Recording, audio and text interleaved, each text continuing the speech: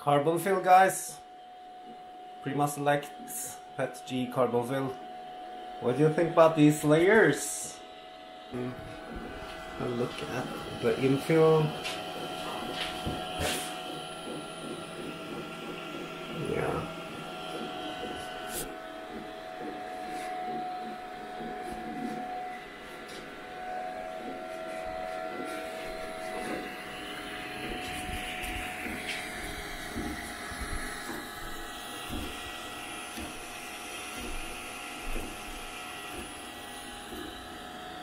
Some great lines, I think. What do you think? Leave me a comment in the comment section below. And let me think what you think.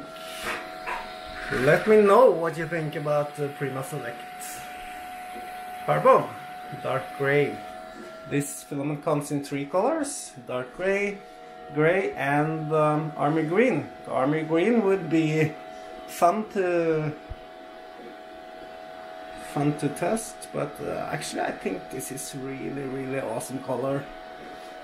It's a matte finish little sparkly matte, matte finish. It's just just great to look at. So I'll be curious to see this uh, see the final product of this.